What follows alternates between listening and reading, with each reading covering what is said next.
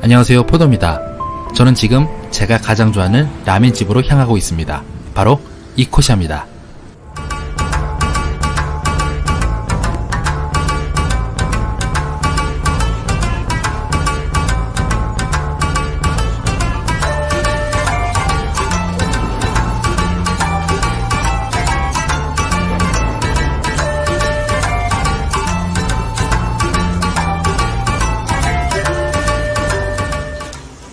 저는 오늘 제가 일본에서 가장 좋아하는 라멘집인 이코샤 총본점에 왔습니다.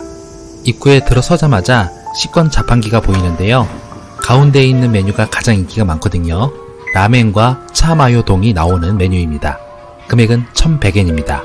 지금 내부 모습을 보여드리고 있는데요. 꽤나 일본스러운 분위기입니다. 카운터석이 있고요. 그리고 뒤쪽 편에는 테이블석도 준비가 되어 있습니다. 그리고 한쪽 편에는 인스턴트 제품을 판매도 하고 있긴 한데 사실 이거는 그다지 추천드리지는 않아요. 그리고 촬영을 허락해 주셔서 음식 만드는 모습도 촬영을 해봤는데요. 그 모습이 꽤나 보기 좋았습니다.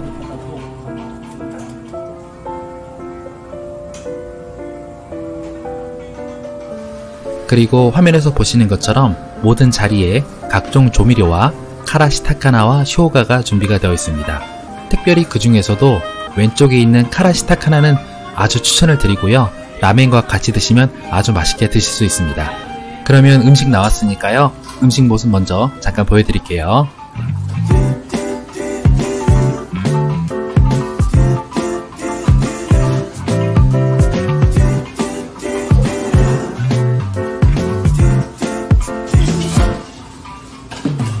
조금 더 가까이 다가와줘 그대.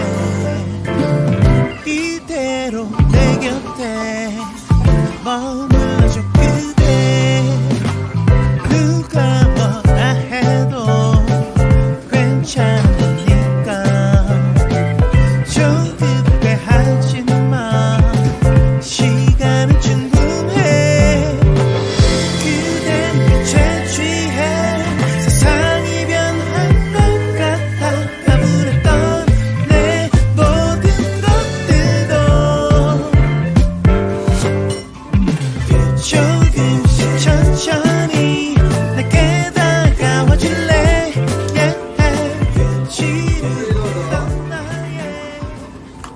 네, 이제 식사를 시작을 했는데요. 이곳 이코샤 총본점은요, 하카타역에서도 굉장히 가깝기 때문에 이곳을 찾으시는데 큰 번거로움은 없으실 겁니다. 그리고 앞서 보여드린 음식 모습에서 보신 것처럼 육수에 거품이 굉장히 많은 것을 보실 수가 있는데요. 이곳은 굉장히 굉장히 진한 돈코츠 육수를 만들어내는 곳입니다. 이곳을 방문하신 분들의 대부분이 이런 말씀들을 하세요. 처음 드셨을 때 아주 진하고 쿰쿰하면서도 깊은 맛이 느껴진다 라는 말씀들을 하시는데요. 그 표현이 가장 적당한 표현이라는 생각이 듭니다.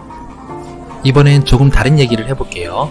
우리가 보통 일본에 여행을 할 때 현지 맛집 좀 추천 부탁드립니다 라는 말씀들을 많이들 말씀을 하시는데요.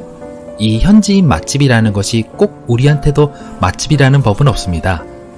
그 말인 즉슨 현지인에게는 굉장한 맛집일지라도 우리에게는 호불호가 갈릴 수도 있다라는 의미로 해석이 될 텐데요. 그런 의미에서 본다면 이곳은 현지인 맛집이라고 말씀을 드릴 수가 있습니다. 실제로 제 경험담을 말씀드려 볼게요.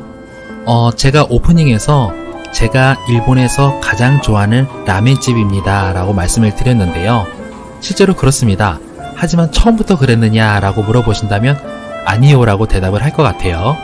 왜냐하면 실제로 제가 처음 이곳 후쿠오카에서 정착을 시작했을 때 이코샤에 왔었을 때 느꼈던 그 감정은 너무 진하고 쿰쿰한 냄새가 저에게는 거부감으로 좀 다가왔었거든요.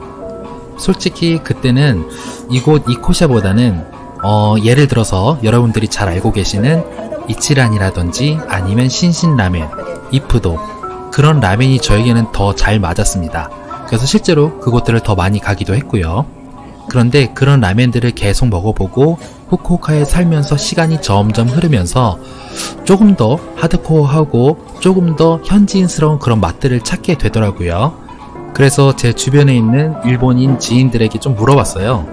어, 분명히 내가 여기 처음 왔을 때는 이치란이라든지 이푸도나 신신 등이 훨씬 맛있었는데 요즘은 이상하게 이코샤나 이곳과 비슷한 이소우가 더 맛있는 것 같다. 점점 그렇게 느껴진다. 라고 얘기를 하니까 자연스러운 변화라고 얘기를 하더라고요. 그러면서 그 친구가 그 얘기를 하더라고요. 실제로 자기도 그랬대요. 처음에는 자기도 이푸도나 신신 같은 경우가 더 맛있었다고 해요. 뭐 이치라는 그다지 좋아하지 않았답니다. 그 친구도 사실은 도쿄 출신인데요. 처음에 후쿠오카에 왔을 때 도쿄에서나 먹어봤던 라멘들과 후쿠오카의 라멘들이 굉장히 그 향이나 맛들이 달라서 처음에는 이푸도나 신신 등을 많이 갔다고 합니다. 하지만 점점 먹으면 먹을수록 후쿠오카의 돈커츠 라멘에 대한 그 매력을 느꼈다고 해요. 그러면서 결국에는 지금은 저와 같이 이곳 이코샤 또는 이소우를 가장 좋아하게 됐다라는 얘기를 하더라고요. 그래서 앞서 말씀드린 것처럼 이곳 후쿠오카 현지인 맛집이라는 표현을 사용한 이유도 바로 그것에 있습니다. 이곳에 꽤나 오래 살고 있는 분들은 대부분 이코샤나 이소우를 더 좋아하는 경향이 강한 게 사실이고요. 이번에는 그 대상을 좀 바꿔볼게요. 이번에는 그 주요 대상을 현지인이 아닌 이곳 후쿠오카에 처음 오시거나 오신 지 얼마 안 되신 분들 입장에서 한번 생각해 볼게요. 그런 분들의 입장에서 본다면 이곳 이코샤는 무조건 맛집입니다 라고 말씀을 드리기에는 조금은 어려움이 있을 것 같아요. 왜냐하면 제가 앞서 말씀드린 것처럼 그 쿰쿰한 향과 아주 진한 그 육수 때문에 사실 거부감을 느끼시는 분들이 분명히 계실 거예요. 그러다 보니까 신신이나 이푸도를 저는 웬만해서는 추천을 드리는 편이긴 한데 조금 라멘을 많이 드셔보신 분들께는 항상 이곳을 추천을 드립니다. 그리고 제 주변에 일본 현지인 지인들이 이런 말도 하거든요. 이곳 이코샤는 라멘 고수들만 즐길 수 있는 그런 맛이다 라는 얘기들을 하는데 사실 저는 좀 생각이 다릅니다. 뭐 라멘 먹는데 고수가 어딨고 하수가 어디겠어요. 실제로 자기 입맛에만 맞으면 저는 그곳이 맛집이라고 생각을 합니다.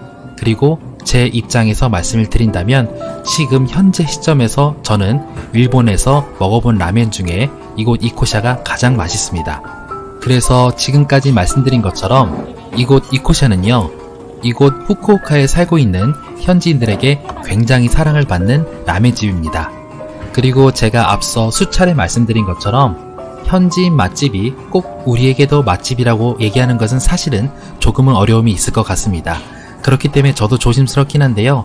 아주 조심스럽게 이곳을 추천을 드리고 싶거든요. 왜냐면 그만큼 제가 가장 맛있다고 생각하는 라면집이기도 하고요.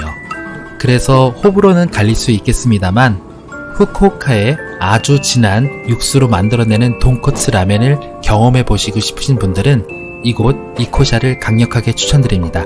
한번 경험해 보시는 것도 꽤나 재미가 있을 거라는 생각이 듭니다. 그래서 이상으로 오늘은요. 제가 일본에서 가장 좋아하는 라멘집인 이코샤 총본점이라는 곳을 소개를 해드렸습니다. 여행 오셨을 때 이러한 특별한 경험 해보시는 것도 꽤나 괜찮은 경험이 되지 않을까라는 생각이 듭니다. 그러면 오늘도 귀한 시간 내주셔서 시청해주셔서 감사하고요. 저는 또 다음에 다른 영상으로 찾아뵙도록 하겠습니다. 항상 건강하세요.